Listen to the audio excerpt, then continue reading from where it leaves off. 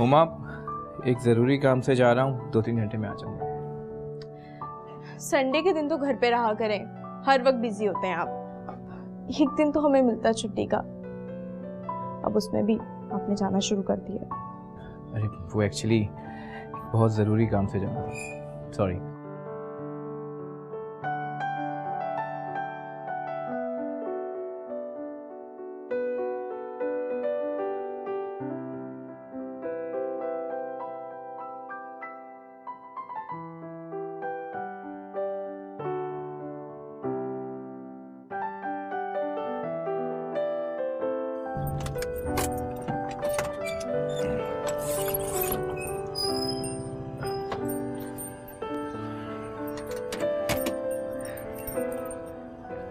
अरे अस्सलाम वालेकुम खाला। वालेकुम सलाम। कैसे हो राशिद बेटा? मैं ठीक हूँ आप यहाँ खैरियत? हाउ आर यू राशिद भाई। आई एम गुड राशिद बेटा मैं तुमसे ही मिलने आई हूँ। अरे आइए आइए।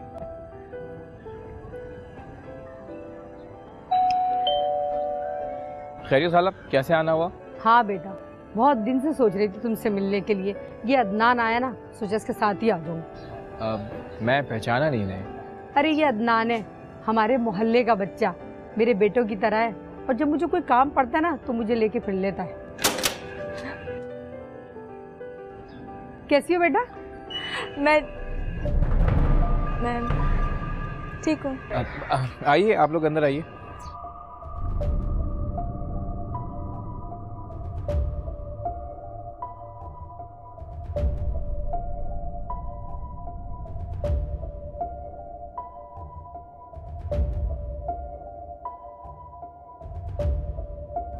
बेटा जब तक लोग हैं शादियाँ तो होती रहेंगी।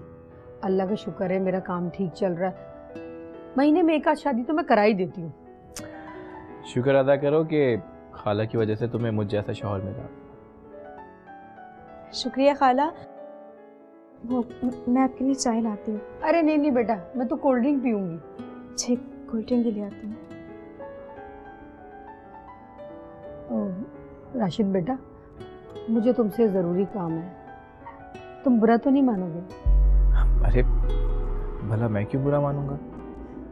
ये अदनान है ना इसकी कहीं जॉब लगा दो। सारा दिन मारा तवाड़ा फिरता है और शाम को खाली हाथ घर आ जाता है। एजुकेशन क्या है आपकी? जी मैंने ग्रेजुएशन किया है। और अ, किसी काम का एक्सपीरियंस सेल्स का काम किया मैंने। सेल्स का? फिर तो समझो कि तुम्हारी जॉब हो गई।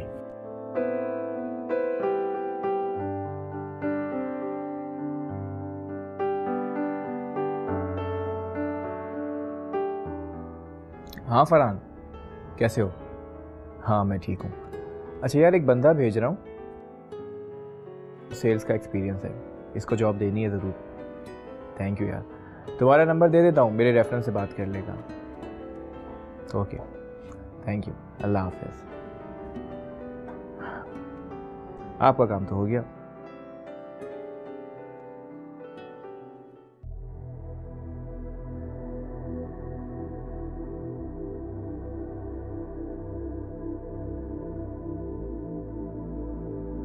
हुमा, क्या सोच रही हो तुम? इतनी देर कर दी कोल्ड ड्रिंक लाने में। अब हाँ चले। चल।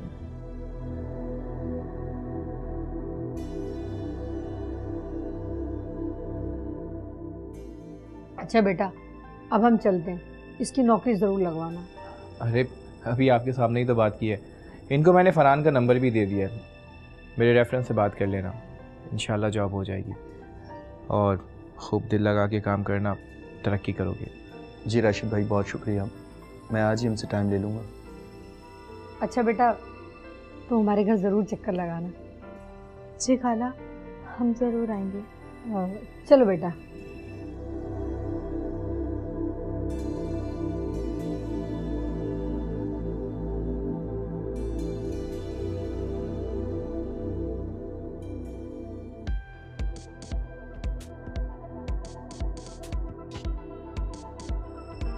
क्या हुआ? तुम ठीक तो हाँ? हाँ मैं ठीक हूँ, वो किचन में थोड़ा काम है।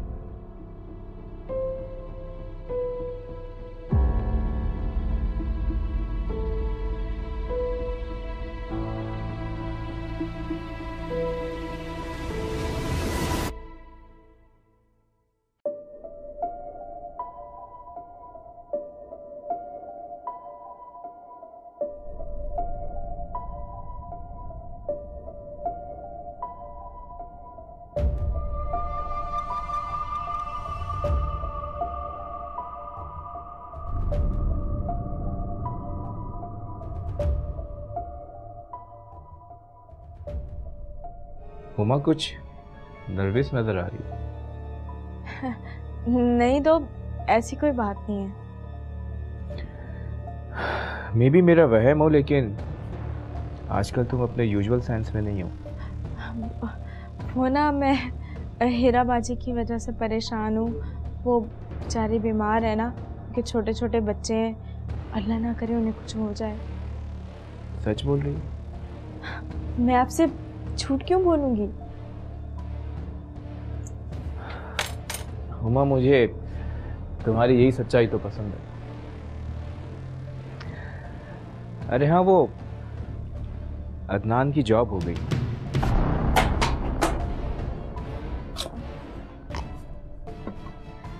कौन कौ, कौ, कौन अदनान? वही जो कल खाला के साथ आया था। अच्छा हुआ। क्या अच्छा हुआ? यही कि उसकी जॉब हो गई।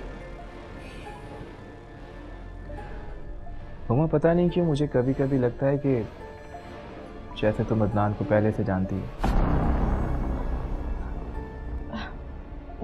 नहीं तो? और आप मुझ पे शक कर रहे हैं? मैं बोला तुम पे क्यों शक करूँगा? खैर वो सुबह ऑफ़िस के लिए नेवी ब्लू शर्ट इस्त्री कर देना। हाँ ज़रूर।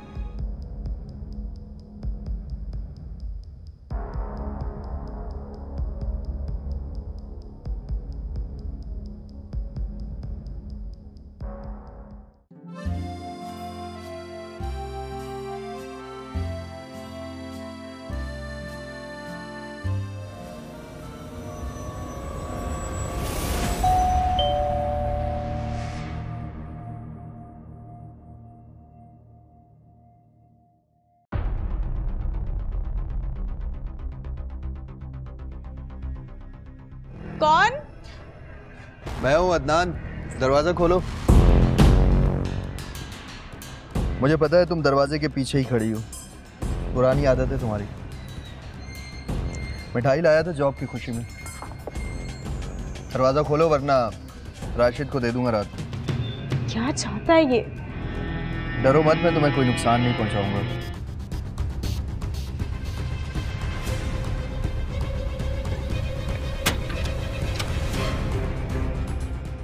अदनान मेरा पीछा छोड़ दो। देखो मैं मैरिड हूँ। और मैं अब भी कमा रहा हूँ तुम्हारे इंतज़ार में। हमारे बीच जो कुछ भी था वो सब खत्म हो चुका है। तुम प्लीज़ जाओ यहाँ से। ये मिठाई खिला देना अपने शोहर को। अब जाओ यहाँ से। दोबारा कभी मत आना। ये बता दूँ कि हालात बहुत ख़राब है मेरे। चलता हूँ मैं। फिर आऊँगा।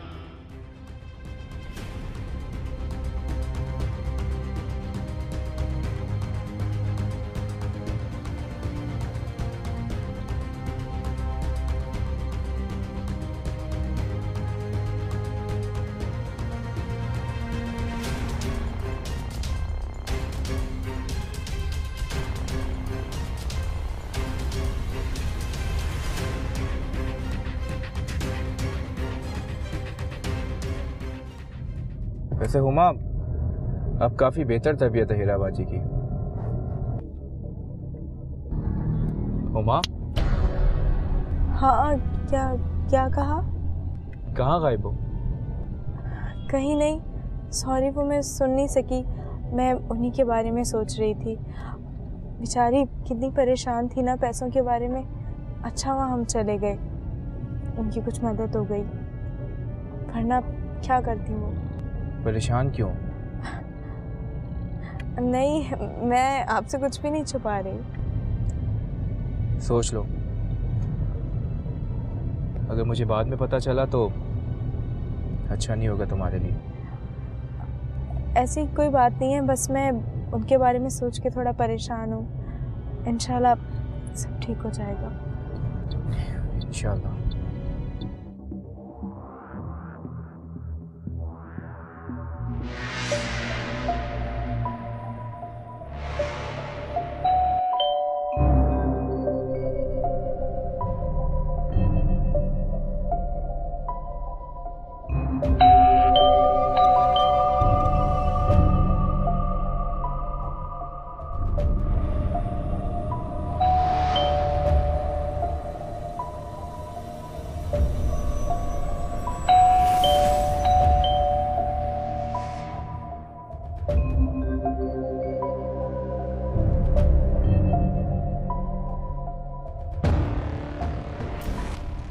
लगता है कोई है ही नहीं घर पे।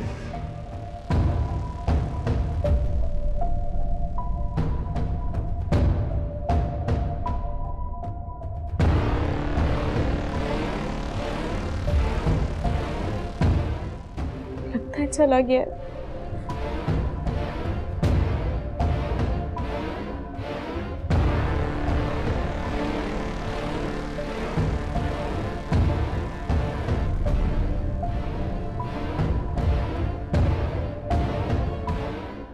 अलैक्म खाला मैं हुमा बात कर रही हूँ। वालेकुम अस्सलाम। कहो कैसे फ़ोन किया मुझे? खाला आप अदनान को क्यों लाई थी मेरे घर? तो इसमें क्या हुआ? उसको जॉब की ज़रूरत है मैं तुम्हारे घर ले आई। खाला आप जानती हैं ना वो मेरा मंगेतर था। फिर भी आप उसे यहाँ ले आई। तो ये बात राशिद को तो पता नहीं है ना? अगर राशिद को जरा भी शक हो गया ना मेरा घर बर्बाद हो जाएगा। आप तो जानती हो कितना जिद्दी इंसान है। अच्छा बाबा गलती हो गई जान छोड़ो मेरी।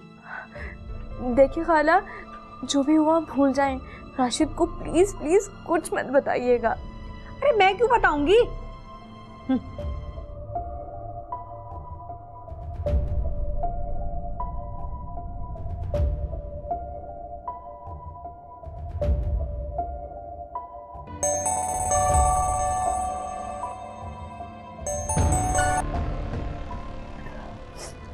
हेलो। कौन? मैं हूँ। तुम्हारा सबका हूँ? कैसी हो? मैंने तुम्हें डिस्टर्ब तो नहीं किया। तुम्हें मे, मेरा नंबर कहाँ से मिला? क्या चाहते हो अदनान? मैंने तुमसे कहा था ना मेरे माली हालात ठीक नहीं है। इसलिए तुमसे रब्ता किया अगर मुझे कल तक दो लाख रुपए ना मिले तो मैं तुम्हारी और अपनी पिक्चर्स राशिद को दिखा दूँगा। और उसे वो सब कुछ भी बता दूँगा जो हमारे दरमियान कभी हुआ ही नहीं था। दो लाख बहुत बड़ी रकम है मैं कहाँ से इंतज़ाम करूँगी? बड़ा माल है तुम्हारे उस अमीर शोहर के पास। चाहो तो बहुत आसानी से दे सकती हो। बाकी तुम्हारी मर्ज़ी। है अगर फैसला कर लो तो मेरे इसी नंबर पर रब्ता कर लेना। कल आके ले जाऊँगा पैसे।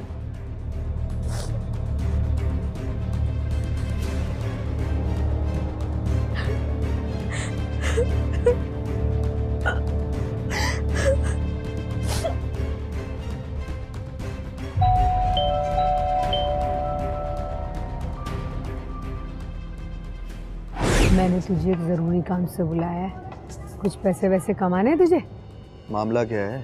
कमाने हैं पैसे? अरे वो हुमा नहीं है। उसकी बड़े अमीर घर में शादी हुई है। हाँ तो फिर मैं क्या करूँ? तेरी सबका मंगेतर थी ना? तो तेरे पास उसकी कुछ तस्वीरें तो पड़ी होंगी। हाँ तस्वीरें तो हैं खाला। अरे उसे दिखा के तू दो लाख की रकम का मुतालबा कर दे। अरे नहीं खाला वो तो बेचारी मेरे इतने इसरार करने के बाद आई थी और वो मंगनी के बाद बनाई थी तस्वीरें। और खाला हमारा कोई ऐसा वैसा चक्कर नहीं था। अरे तेरे पास तस्वीरें तो है ना। छोड़ दूसरा रुख हम दिखा देंगे। और उससे कह दे कि अगर उसने ये रकम ना दी तो ये तस्वीरें तो उसके शोहर को दिखा देगा। और कुछ झूठ तू अपने पास से लगा देना। फिर तू देख मुझे यकीन है कि वो घबरा के तुझे रकम दे देगी। वाह खाला। बड़ी चलाक हो खाला। लेकिन मेरा हिस्सा कितना होगा? अरे बराबर बराबर करेंगे हिस्सा। लेकिन खाला मैंने उसका घर नहीं देखा। अरे मुझे पता है मैं ले चलूँगी तुझे। फ़िक्र क्यों करता है तू? अब देख मैंने तेरे फ़ायदे की बात की है। अब जा मेरे लिए कुछ खाने पीने के लिए लेकर आ। अरे क्या खाएगी खाना मुझे बता। अरे जाके ब्रोस लेके आ जा। मैं यूँ गया और यूँ आया।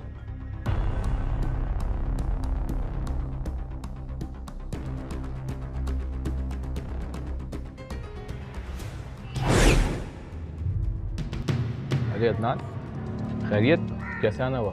वो राशिद भाई मैं शुक्रिया अदा करने आया था। आपने जॉब करवा दी ना तो चलता हूँ मैं फिर अरे रुको।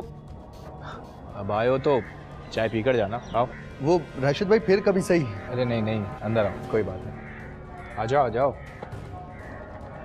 कैसी चल रही है तुम्हारी जॉब? आओ आओ अंदर आओ। अरे वहाँ कहाँ रुके हो? अंदर आओ।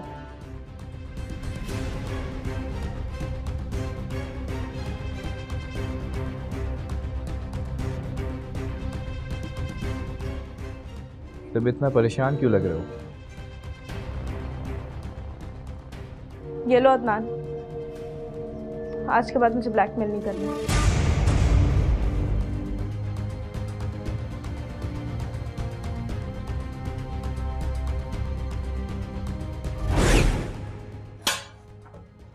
हुमा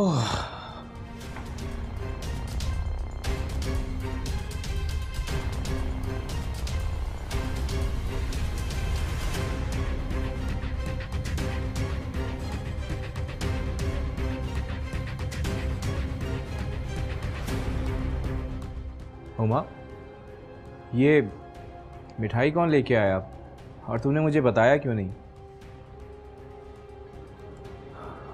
और ये पूरा पैक डब्बा? तुमने डस्टबिन में क्यों फेंका हुआ है? मिठाई? कौन सी मिठाई? ये मिठाई। क्या हुआ? तुम इतना घबरा क्यों गई हो? और वैसे भी आजकल कुछ दिनों से तुम अजीब अजीब सी हरकतें कर रही हो। मामला क्या है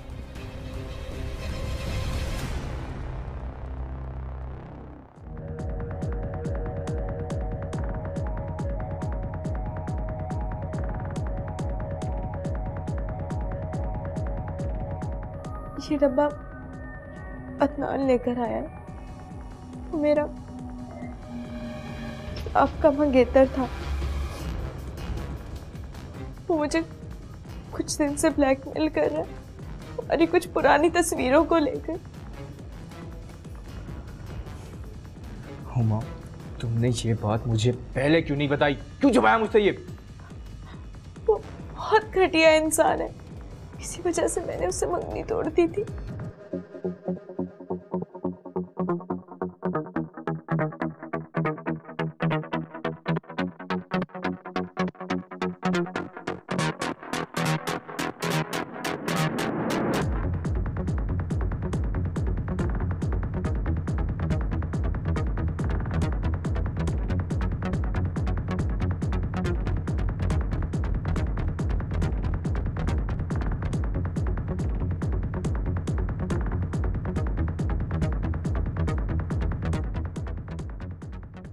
ठीक है।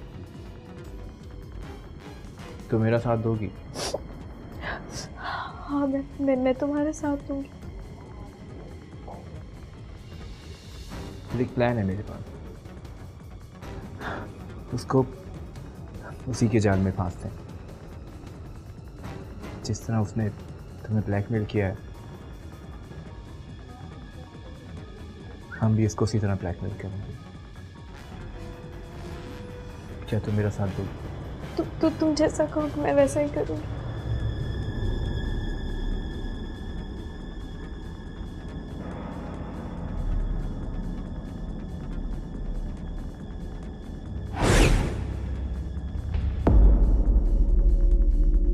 अच्छा राशिद भाई मैं मैं चलता हूँ। अरे इतनी भी क्या जल्दी है? मैंने तुम पर एहसान किया और तुमने ये बदला दिया मुझे मेरे एहसानों का हाँ? वो तो वो तो हुमा ने मुझे सब कुछ बता दिया था। देख थोड़ी देर में पुलिस आती होगी। क्या हशर करता हूँ मैं तेरा?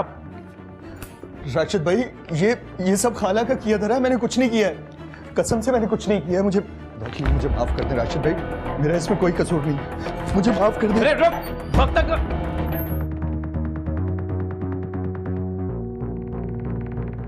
भाग गया।